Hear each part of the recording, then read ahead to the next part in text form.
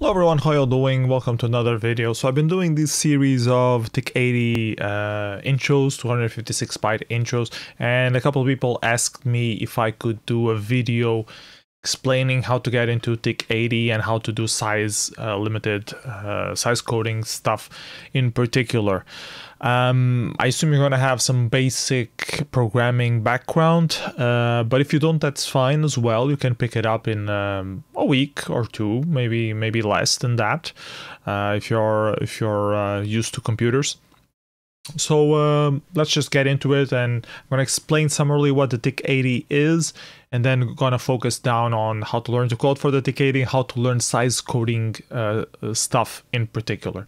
So let's jump right into it. So TIC80 is this uh, fantasy console. That means that it's a console like a Mega Drive or Super Nintendo, but that it exists only virtually. Like someone decided that they wanted to do uh, the restraints of one of those kind of consoles and uh, have them work just virtualized in the computer.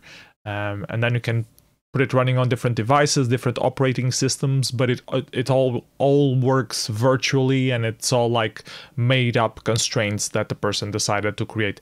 In this case, Nesbox was the creator of the TIC80 and uh, it follows the trend from the Pico 8, which was also similar concept, uh, but was not open source. And TIC80 distinguished itself for being open source.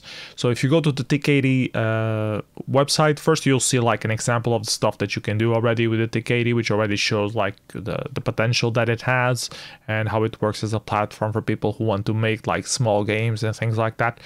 If you go to create, you can actually use um, the screen right here to test a few things. It doesn't let you save what you made though, so it's just like for a quick checking something uh, or just for show.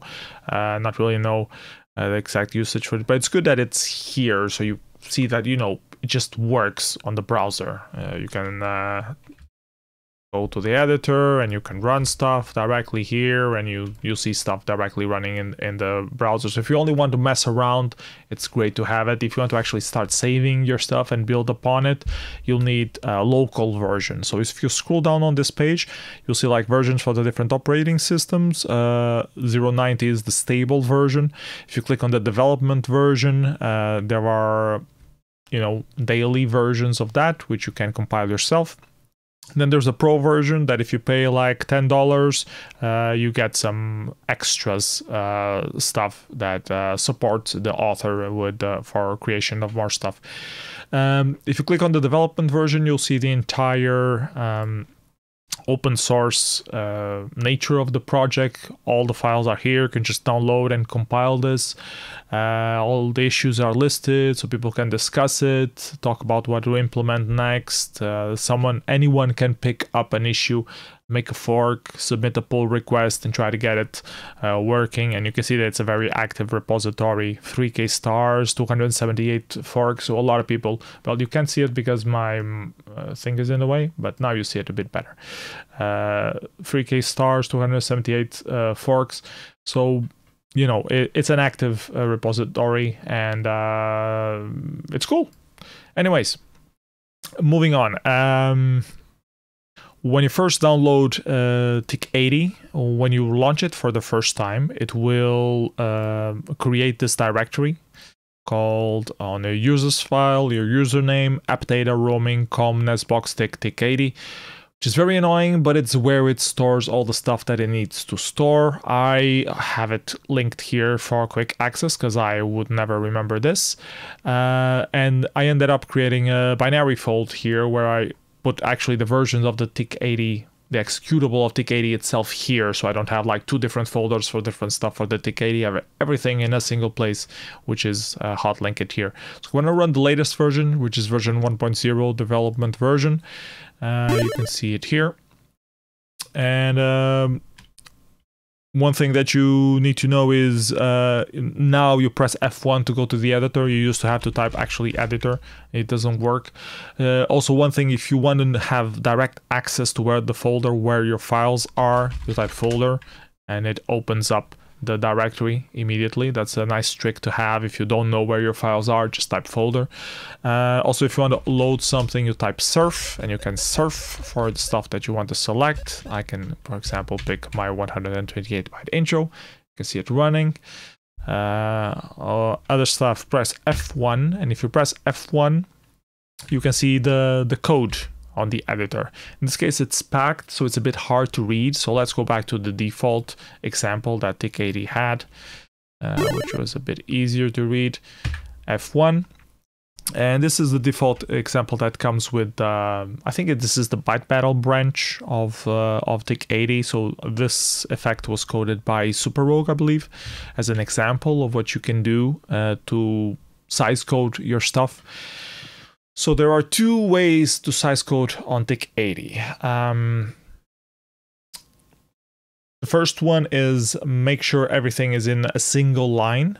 And the second one is to rely on a packer. Um, there are different competitions where either of these skills are needed and they're not mutually exclusive but they're a bit mutually exclusive.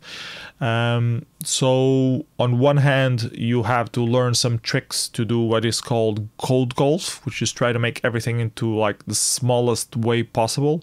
And for that you'll need to know a lot about the syntax and the tricks that you need to use. Now we'll cover that uh, in a while. The other one is that you can't like for example this is optimized for a single size for like the size here being 89 but if I do this,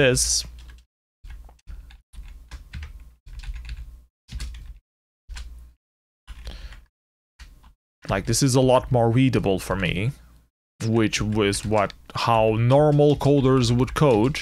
It's a lot more readable for me, but the size went from 80 something to 100. So uh, it doesn't work for the fast category, for the first category of uh, size optimization. But if you're gonna put through this code through a packer that will do the the crunching down for you it's much better for you and it might even be better for the packer. I'm going to talk about specific things that you need to be aware of uh, but let's go through parts. Um, first thing when you're learning about TIC80, uh, first you're going to need to know the programming language itself. Uh, TIC80 has several languages available. The most used one is Lua because it's slightly faster than the other ones. You can also code in JavaScript. I think you can also code in Lisp. I think there are a couple more uh, options never really looked into them. I just i took the opportunity to learn a bit lua since everyone else was learning lua uh, was using lua on the tic 80 specifically.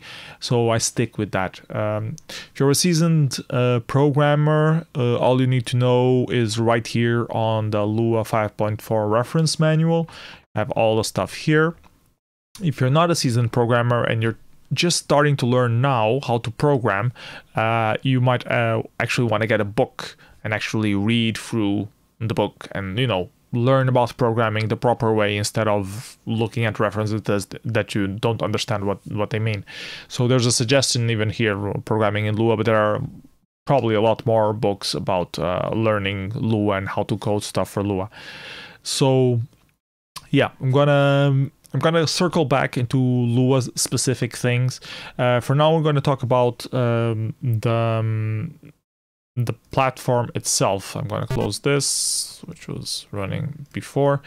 Um, I have a few links which I'll post on the description, uh, which are useful to getting to know a bit more about the TIC80. Uh, one of them is this page that uh, layouts the, the RAM, which is one of the most important parts of any machine. You want to know what each part of the memory is relating to, uh, especially in terms of hardware.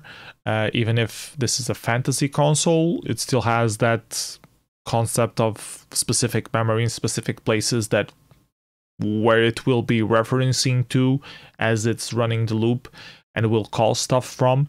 So uh, if you go to this specific specific page, you will see uh, where all the different things are mapped out, like the different tiles, the video uh, that you see on the your screen, the memory for that, uh, the different tiles and sprites that you have. Um, information on your mouse states on your keyboard so you can access those directly as well uh, stuff for sound uh, for handling the sprites uh, even in terms of your video memory it tells you specifically what happens. Where is the pixels on your screen? What is the palette that you're using? Uh, the border color? All sorts of different things. So this is handy to have if you want to you know get a bit down into the hardware level of the fantasy console. You might not really need it for a lot of things but it's useful reference to have when you want to know specific uh, tricks that you might or might not be able to use um, another link that is very important or interesting to have is the size coding information about uh, coding for the TIC80. It assumes that you already know how to program, but it explains you the basic parts like how to set up your TIC80, how to get started. Uh, even has some examples of the different stuff. So this is, was very handy to you know at least read it once, uh, and then there's a few references that you can circle back to um, and you get a lot of interesting knowledge out of that. It's not mandatory though, you can still do stuff, but uh, it helps you get started. Like the noise function, for example, tells you some ways to get sound out of the um, TIC80 without using the, the tracker part. We'll get to that. Let me just go through the rest of the links another part, another page that is interesting is the a list of all the functions that exist in Lua. And this was made by another person, not Nesbox. So this is not like an up-to-date list. Uh, last update was nine months ago, and I know for a fact that there are a few more functions that are not listed here yet. Not sure if it will get updated or not, but I found this uh, list really, really useful. Um, it tells you all the single um, functions that exist. Uh, there are three main ones that are here. There's one new one that is not listed here. So uh, tick is the main loop that exists that will always run uh, at 60 frames per second. It's uh, capped a maximum 60 frames per second, but everything that is inside this tick function is what is being executed. Um, additionally, you have the the scanline function, which will for each line that is on your screen, it will call uh, this function and uh, with the reference to the line. So you can do some things like change uh, something per line. Usually you want to change the color that you're using uh, so you have multiple colors instead of the 16 that you're limited to. And you can define the palette of the TIC80 by code. So uh, you can change those kind of colors with with the uh, SCN. I call it scanline. I hope it's what it means, um, but uh, it should be. They reference scanline here on the comments. Um, then you have the OVR, which is the overlay function. There are actually two palettes inside uh, TIC80. Uh, dot .tick is the main one, and then once uh, tick is done, you have an overlay function that will draw stuff on the overlay screen. So you have two buffers pretty much. And they have a unique palette for the overlay, which by default is black. And I will show you that in a moment. Um, then all of the stuff that's here, it lists you all the other functions that exist, how you can clear the screen, how you can draw a circle, how you can do a circle with a border only, um, all sorts of stuff, uh, how to handle fonts. I learned a lot from checking this instead of because there I couldn't find another more clear, direct way to have a listing of all the functions. So this is why it really helped me, and it has like all what parameters, what each parameter uh, is, which was quite useful. Uh, memcopy, which I also used to test a few things like some feedback effects before as well. That was fun to use. Uh, peek4 and peek uh, and uh, poke. Um, you can look at a certain uh, area in memory and write into it in groups of four bytes instead of just one, which can be really useful if you're trying to do some uh, specific stuff faster than going one by one. Uh, pix is one of the main functions that you're going to end up use. It just defines uh, what color is on specific X and Y uh, pixel. Like you define uh, the um, X dimension of the pixel, the Y dimension of the pixel, and what color it will have. Uh, that's as straightforward as it gets. It also has an interesting feature, which is it returns that information as well. So if you do just pix x y, it will return you the color, which is good if you want to like check what color a specific uh, pixel has right now and do something uh, accordingly to that. How to print stuff, uh, draw a rectangle, a rectangle with borders, uh, call a sound effect, draw a sprite. Um, the time, how to get the time, uh, how to draw a triangle, uh, and uh, a textured triangle as well, where you get the texture from the, um, the um, sprites uh, sheet, if I'm not mistaken. Never really used it, textri. Anyways, going back to our code. So this is the TIC80, as I mentioned before. Uh, you have the main tick uh, function here, which will run all the time, and you're trying to optimize it to be as fast as possible and put stuff on the screen. So what it's doing right now is getting the time. It's uh, dividing and a special kind of dividing by 32. This is flooring the time, which means it will divide by 32 and get the lowest integer uh, on it. And this is useful because if you want to do some operands on uh, on some stuff, like they do later here to shift to 3, um, it will not run if it's a float. It will only run if it's uh, an integer. And if you want to convert float to integer, you're wasting more bytes than if, if you would just floor it. And this is equivalent to actually typing math.floor and the number. So uh, time divided by 32. So this is what that slash slash does. It's calling this whole thing. So they save a few bytes by doing that. Um, then it's doing a loop for every single uh, pixel on the y-axis, which is 136 for the TIC80. Uh, and for every single on the x-axis, it's gonna put a pixel. And the pixel is gonna be of this color x plus y, which makes it do a diagonal, and with time means that it's different every time. It has an animation uh, byte shift by 3, and you have this effect. So yeah, so the palette that exists on uh, the TIC80, if you go to the sprite editor, you can see all the colors that exist here, uh, all 16 of them. It has the index, it appears here where it says sprite editor. So uh, you can see which one you are calling. And uh, yeah, if as I mentioned before, there's an overlay function as well. If you go to advanced mode, you can see here an overlay what uh, palette they have as well. By default, it's black, and the scanline by default as this color. It's called the it's called the Sweetie 16 uh, palette.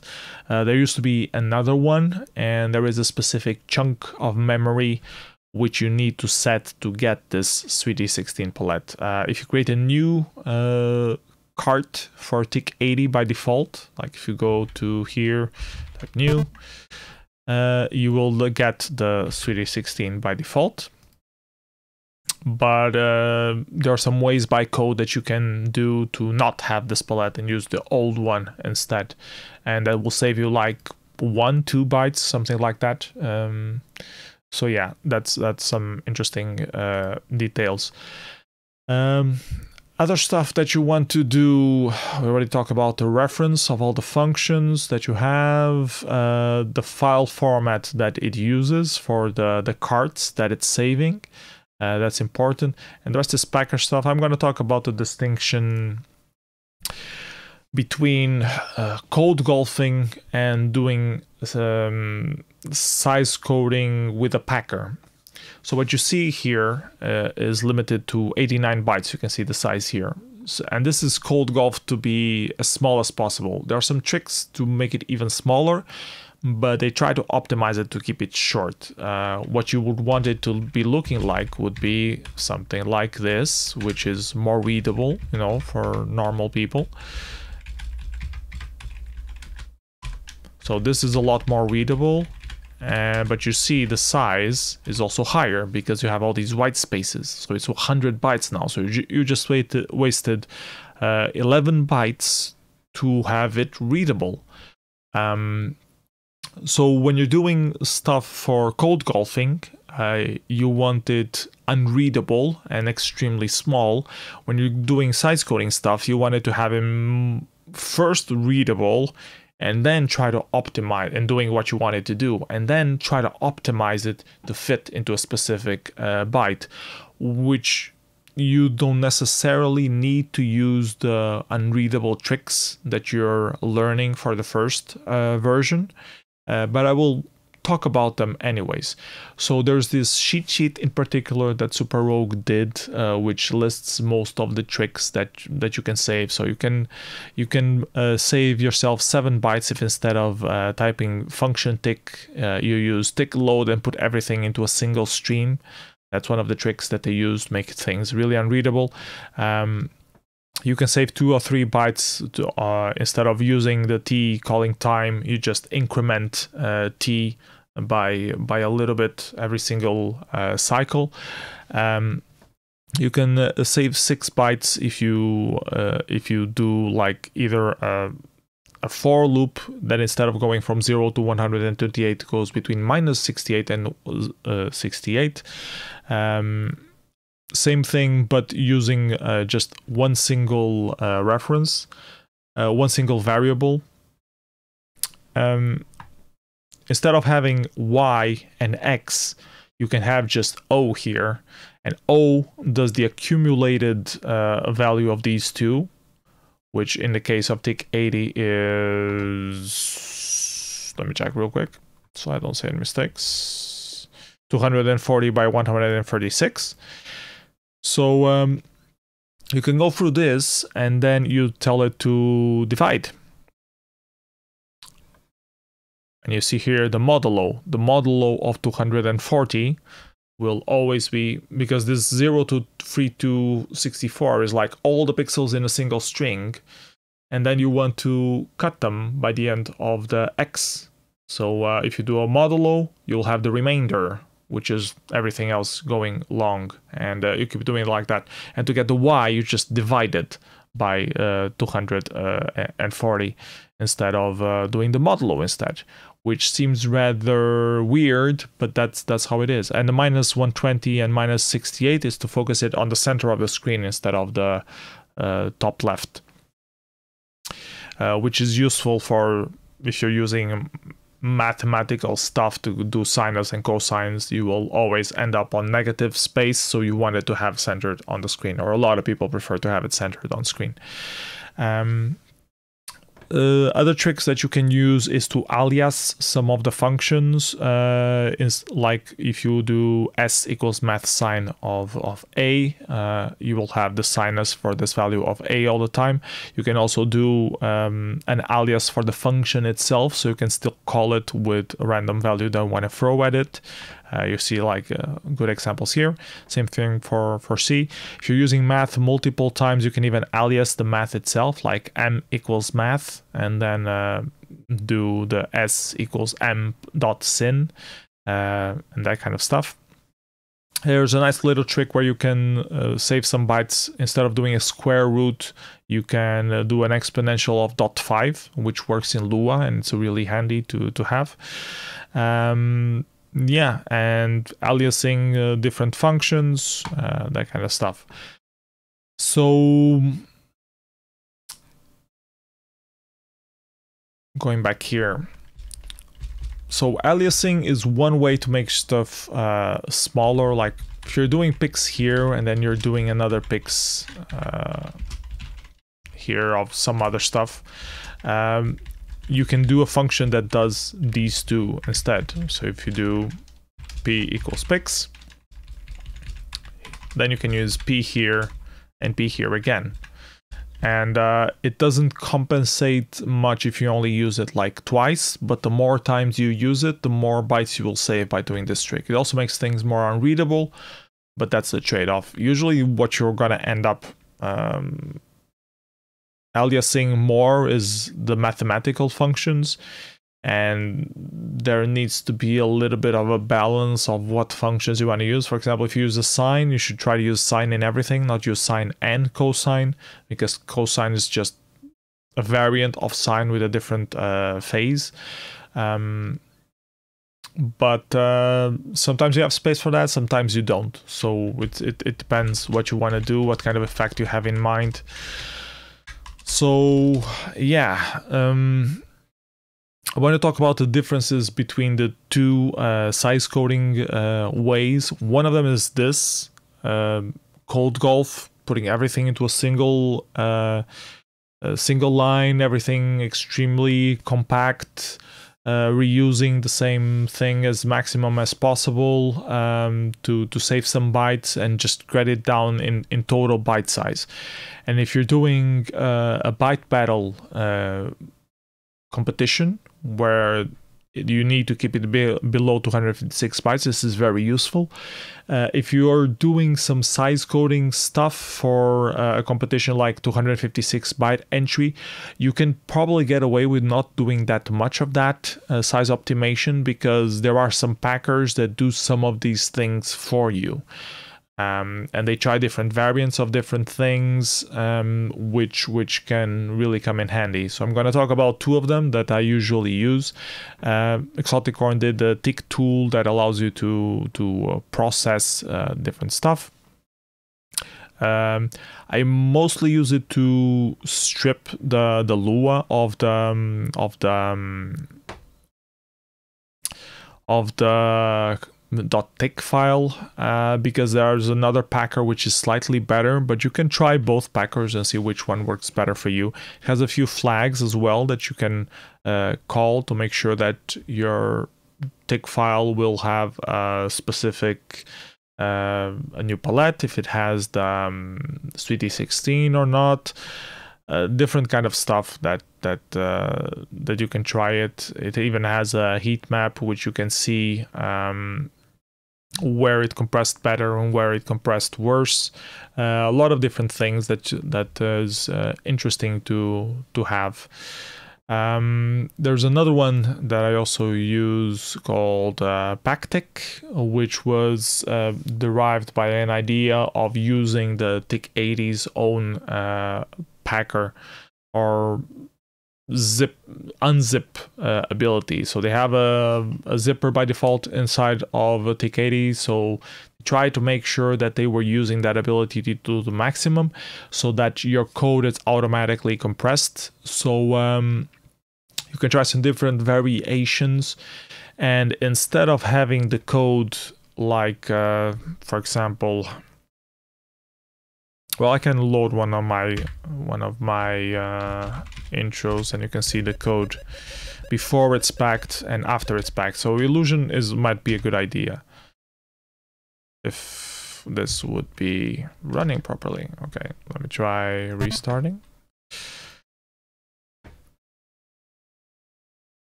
Yes.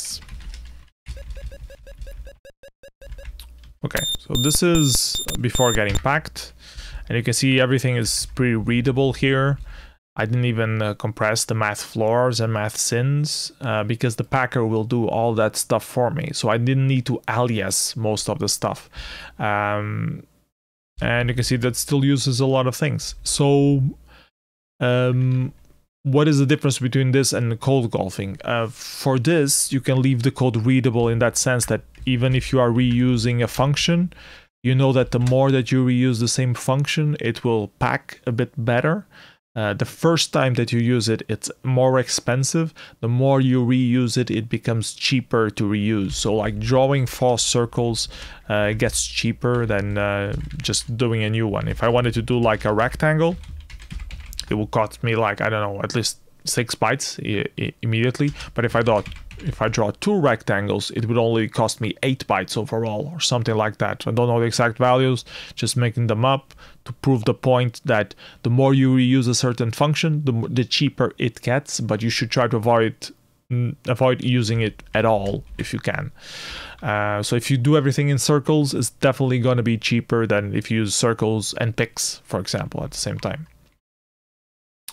Um, so yeah, that's one thing to keep in mind. It helps you keep readability, even if uh, sometimes this editor is a bit hard to read. There's uh, another font that you can switch. This one is a slightly more readable. Kind of got used to the previous one though. Um, So this is what it looks like uh, before being getting compressed. And there are still some optimizations that you could do, usually in terms of um, pre-calculating stuff trying to make sure that you reuse the same uh, values as much as possible. If you have like two digit numbers, try to make it down into one single digit by some way. Or if you have three digit numbers, try to make it down into two digit numbers so it's smaller and reuse the same number. So using 014 here and using 014 here compresses a lot better with, uh, with the other packer because it will look for similarities for patterns and compress those uh, entirely with a single reference. Um, the comments will be automatically scraped, the spaces will be automatically wiped as well. So, um, like, try to reduce the amount of variables that you're not using for anything. Like, if you have a variable that always has a number that you can calculate immediately and put the value there. Uh, do the math and put the actual number instead of having that variable the taking up uh, declaration space. Uh, things like here 25, 26, I could have uh, something declaring at 25 and then do uh, that plus one. Uh, but it's easier for, or it compresses better if you have the number directly here. Um, in most cases at least there are i'm sure there are some cases where it compresses better and you have to end up uh, testing different things. Anyways i'm going to show you the version that is already packed. It says packed. And if you check this is not the code. I don't know why TIC80 is not running properly but sometimes it does that Okay, so see, this version is already packed. Uh, it's all a single line. It could still be compressed further, uh, doing some uh, doing some specific things, um, like putting everything into a single line using the TIC load, uh, stuff like that. But overall, it's a lot more unreadable. Uh, but you see that um, a lot of the stuff did not get like aliased because the compressor handles it better than than if it was aliased and i tested this um, with a few different things like um,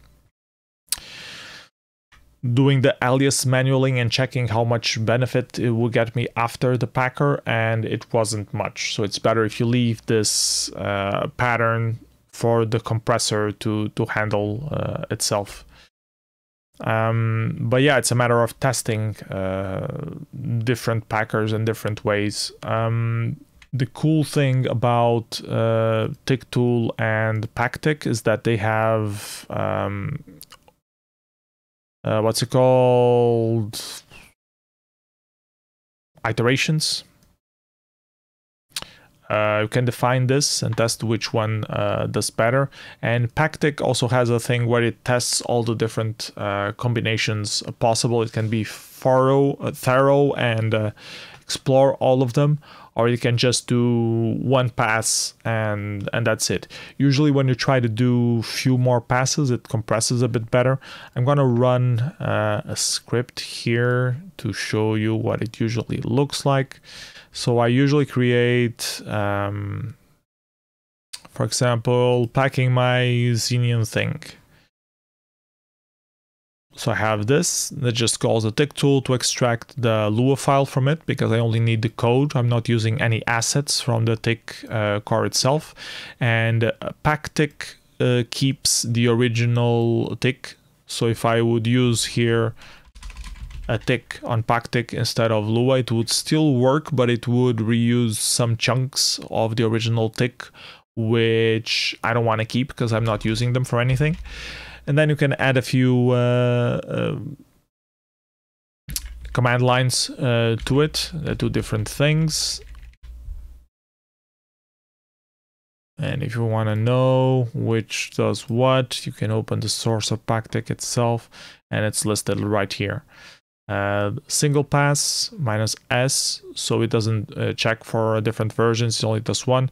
Pedantic is to make sure that it's uh, fully compliant files. I was having some issues because I was using the scanline function, and the scanline function had a time function in it, but uh, so I tried to make the time the, the time variable globally, uh, the time variable global, but um, the the packer would optimize it away locally inside the tick uh, inside the tick uh, function and inside the scn function so they wouldn't seem to be the same. So i was forced to use the pedantic for that. Loses a bit of, of bytes but works in the end. Um, the minus C is to get the Sweetie16 palette as well. So you can see here minus C to use the Sweetie16, Pedantic to avoid that uh, bug, uh, minus S for a single pass, and minus T, I have no clue what minus T does anymore. Where's minus T? Mm-hmm, mm-hmm. No transform. So yeah, I was trying to debug uh, what was the issue that why the Xenium thing wasn't running um, properly once it was uh, done, or not running at all. Uh,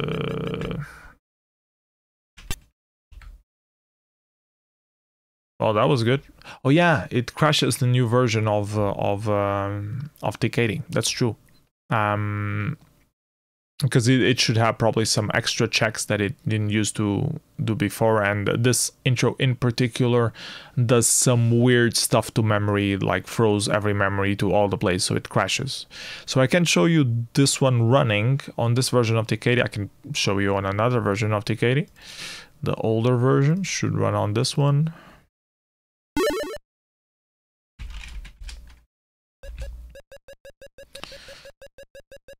Hmm. So this one. So it does this, and if you check the code, it's all of this. And the main problem is that I use this function scn, um, which was calling the time. Then eventually I removed the time from here, um, but it was that was one of the reasons why it wasn't packing very well. So um, uh, anyways, if I call this script. We'll see how it looks like. So here just uh, it called um, it extracted the the Lua and then it tried to pack the Lua. It says here the original byte size, the stripped version, the minified, and the finalized with all the extra chunks for the palette and this was just a single pass. So the first time that it tried it succeeded. If i change the file here to not have the minus s.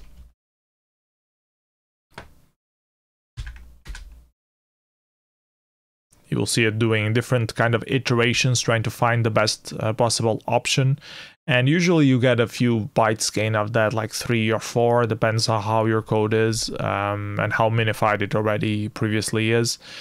Um, but it takes longer. So for first test i always do single pass. And then on the final one if i'm like just missing one or two bytes i know that i can try to use this to try to squeeze that final byte out of it. Um, anyways that's my tool chain. That's what i wanted to to show you. Like uh, if i want to do 256 byte this is how i do it. Like uh, test the effect here try to keep it as readable as possible. Um, do some variables but try to not have that many variables in them. And then just test on the packer if it's uh, doing well or not, if it's doing better or worse. Every time you do a significant change, either save a different version or uh, test one of the other version on the packer to see if it's actually evolving in a positive way to have lower bytes than it should. And uh, yeah. Uh, what else can I mention? Um, there was a new function uh, besides SCN was for scanned lines, um, and on version 1.0 there's a function called BDR, which goes above and below the normal uh, screen. So we're talking about the borders in the corner. Um, and BDR also covers those uh, top pixels. I think it's five, six pixels that uh, SCN doesn't cover, um, which might be worth exploring as well. There's also an ellipse function. It's called elli, which you can use to draw ellipses. So there are a few changes on the new version of uh, of uh, TIC80, which is interesting to um, test out. Uh, one last thing that I wanted to talk about before I wrap up this video is how to generate sound. Um, the size coding wiki has uh, some examples, some basic examples, some basic explanations of how the sound works. Uh, usually you throw stuff at the sound registers and uh, try to figure out a formula that somehow makes sense. Um, I know there are some people who have done different things. Uh, so there are mostly three ways that I'm aware to make sound on the TIC80. One of them is to throw random functions, uh, sinusoidal functions or noise functions, to the um, to the sound register address. Uh, we can do that with the poke function. There's some examples on the on the size coding wiki, as I mentioned, and I tested around with that and tried to get you know different kind of patterns of some sort. Um, you need to be aware that if you're giving it a zero, it actually outbursts noise, which can be interesting. You can use that for some stuff uh, without having to use, you know, math.random. Uh, to generate the noise itself. You can just put a zero there. It also can give you some interesting uh, bugs if you're uh, expecting to do like a, a, square that it's on and off, and suddenly you hear uh, noise and on instead of off. Um, um, so that's one way to to do sound, throw stuff at the register memory, and hope for the best. Hope that something makes sense. Um, you can use it with you can do it with pokes, as I mentioned. The second way that I saw uh, some people do was using the SFX so I'm going back to this view to show you quickly what SFX is. So if you go to SFX editor, uh, by default, uh, there's only a single a single note, which is this. A single SFX that is created by default. And you can play it at different notes. So if you call it by code, if you call like SFX and the number of the thing, which is zero, it will actually beep. And uh, you can do some sequences of stuff with this. It can be a bit heavy because you're calling it every single frame, so you need to like only call it at a certain uh, point and only once. Um, but you can make some stuff with this. You can also try to poke some changes into the values of uh, of this specific uh, sound effect so it has you know different uh, volumes and arpeggios and, and that kind of effects or uses a different wave even because by default it uses this um, square wave but you can make it use um, the the other wave. The wave is defined here in case you're wondering. It uses number two by default. Oh it actually uses the triangle by default. And uh, you can make a change. And sfx is actually a combination of uh, different uh, waves and volumes. So you can define multiple here so you can have like a sound effect and not just a sound um, so you can change those things programmatically and then use that SFX to play the chords or melody or whatever you wanted to play. Um, what I saw other people doing was actually having like a synth of their own. So they code the synth code, uh, additive synthesis or whatever kind of synthesis. They generate all that thing and then they throw that uh, buffer of sound to the sound register and have that play instead. So it's more intricate version of the just throwing random shifting bits, uh, what we call it usually uh, bytecode music. Uh, usually just shifting uh, time around and having some modulos and byte shifting references there uh, to to break or create like a pattern of some sort.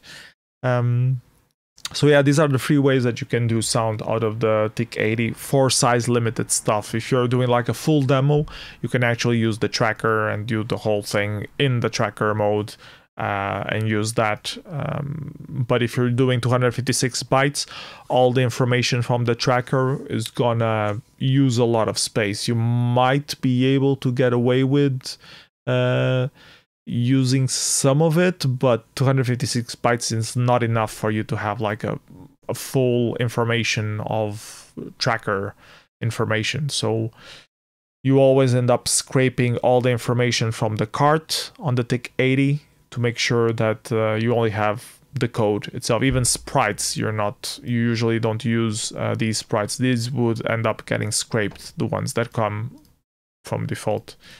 Uh, this little guy.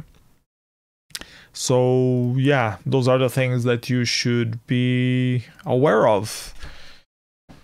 Can't think of anything else that I should add.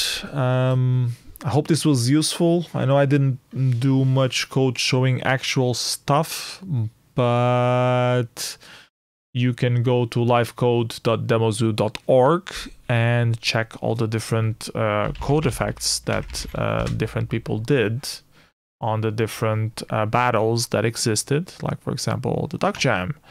Uh, you can see all the source code of the different stuff here and study that, how that worked, which is a lot better than uh, the the sort of code that I could output here on the whim. All the battles are here. Download, download, download, and you can check how each and every single one of these effects were created under 256 bytes. So yeah, I hope this video was useful. Sorry it was just a single take, uh, might be a bit messy and it's 45 minutes long, so it's more of a seminar than a thing.